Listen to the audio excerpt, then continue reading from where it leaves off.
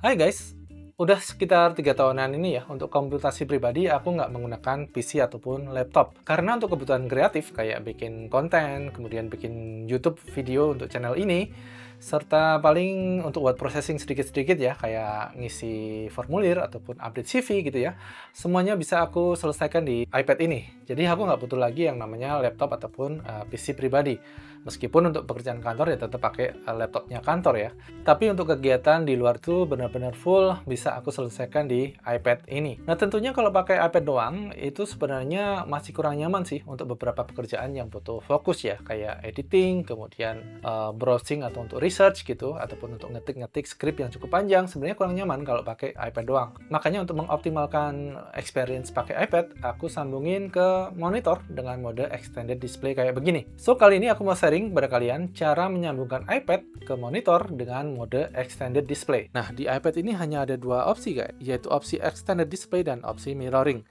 Itu pun tergantung dengan seri iPad-nya ya guys. Nah, Apple itu kan memang terkenal pelit ya, jadi dia tuh pelitnya nggak ketulungan.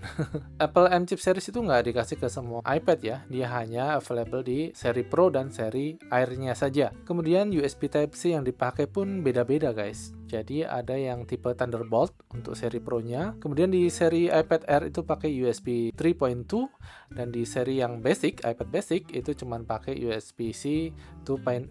Nah, jadi kalian bisa lihat di chart ini atau di tabel ini seri tipe mana yang paling optimal untuk kita bisa memaksimalkan extended display. Dan yang paling ideal adalah menggunakan iPad Pro yang sudah pakai M-chip series dan USB Type-C-nya sudah pakai Thunderbolt. Ya karena semakin kenceng USB Type-C-nya tentu akan semakin lancar ya operasional ataupun displaynya. Nah kita lanjut ke peripheral atau kelengkapannya ya. Untuk monitor sebenarnya kita bisa pakai jenis monitor PC pada umumnya selama memiliki jenis koneksi display yang dibutuhkan yaitu bisa berupa HDMI, bisa berupa display DisplayPort atau DP ataupun USB Type-C yang support dengan uh, display output. Nah, ketersediaan port yang ada di layar monitor ini akan mempengaruhi cara kalian mengkoneksi iPad kepada monitornya. Nah, lanjut ke keyboard sama mouse ya. Untuk mode extended display itu iPad kalian wajib terhubung setidaknya dengan salah satu ya, keyboard ataupun mouse. Karena untuk navigasi di layar kedua hanya bisa dilakukan menggunakan keyboard, mouse ataupun trackpad. Jenis keyboard sama mouse yang kalian pakai bebas sih apa aja. Koneksinya juga bebas, bisa pakai Bluetooth, bisa pakai kabel, atau bisa pakai wireless dongle. USB hub berupa USB docking ataupun dongle ini sifatnya nggak wajib kalau kalian menggunakan koneksi iPad ke monitor menggunakan Type-C. Ya, tapi kalau kalian menggunakan koneksi HDMI ataupun DisplayPort, maka idealnya menggunakan USB hub ya. USB hub ini biasanya ada dua tipe yaitu USB dock ataupun USB dongle. USB docking biasanya memiliki form factor yang cukup besar dan kelengkapan portnya sangat lengkap ya, sedangkan USB dongle lebih portable. USB docking yang proper biasanya sudah dilengkapi dengan power supply yang cukup untuk mentenagai semua port dan juga sekalian dicolokin sekalian ngecas iPad kita. Nah, kelengkapan port dari USB docking ini akan membuat experience kita menggunakan iPad seperti layaknya pakai PC ataupun laptop karena kita bisa konekin berbagai peripheral ya. By the way, di setupku ini aku pakai USB Thunderbolt dock dari Belkin.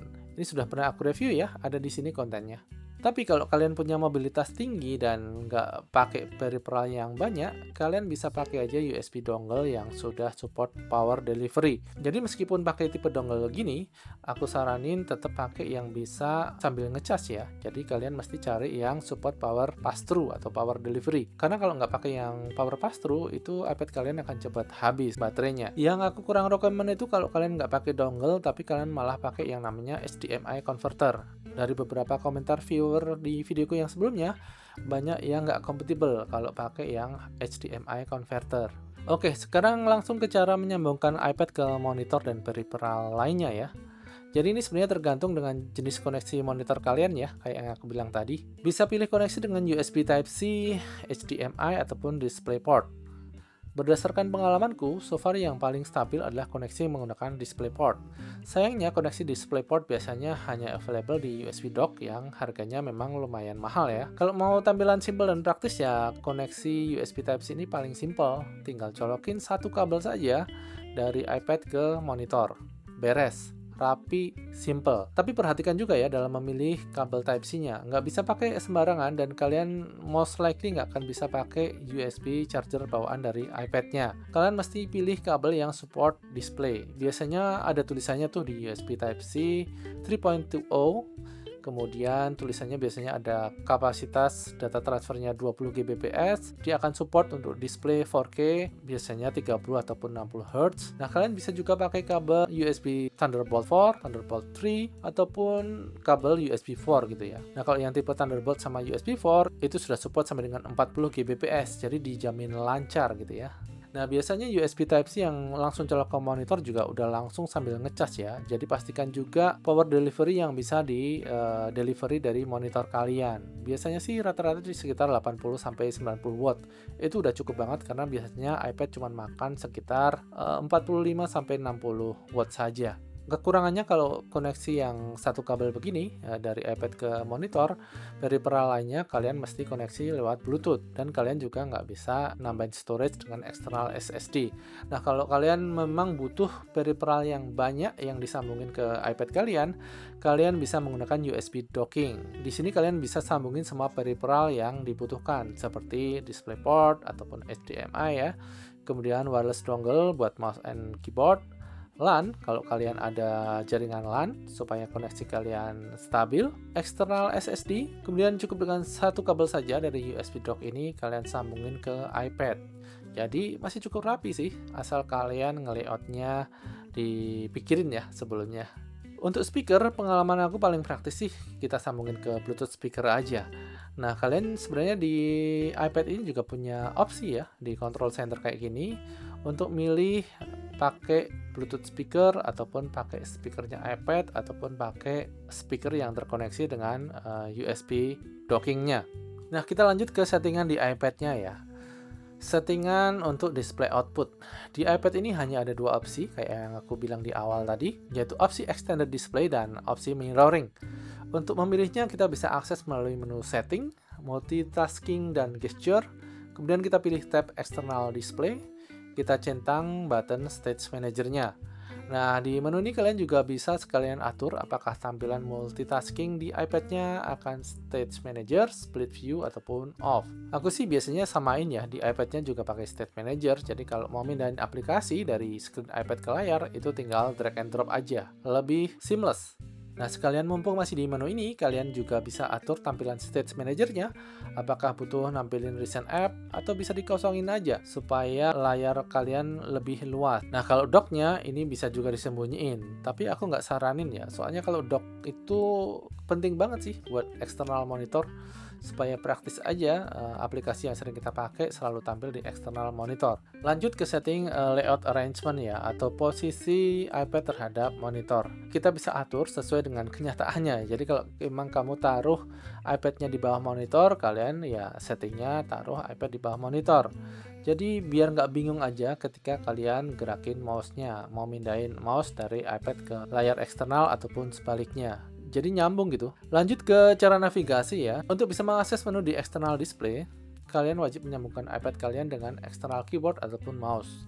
Aplikasi bisa dibuka dengan mengklik aplikasi yang ada di dock atau di app library yang ditampilkan di external display. Atau bisa juga dengan membuka layar di iPad kemudian dipindahkan ke external display dengan cara di drag langsung ke arah external monitor. Atau bisa juga dengan cara mengklik three dot menu, kemudian pilih Move to Display. Navigasi secara umum dilakukan pakai mouse dan keyboard. Tapi ini tergantung juga dari penerapan masing-masing aplikasi ya. Kayak misalnya Instagram, menurutku lebih enak pakai trackpad karena dia ada swipe ke kanan ke kiri ya. Jadi kalau butuh swipe ke kanan ke kiri pakai mouse itu jarang ada yang support.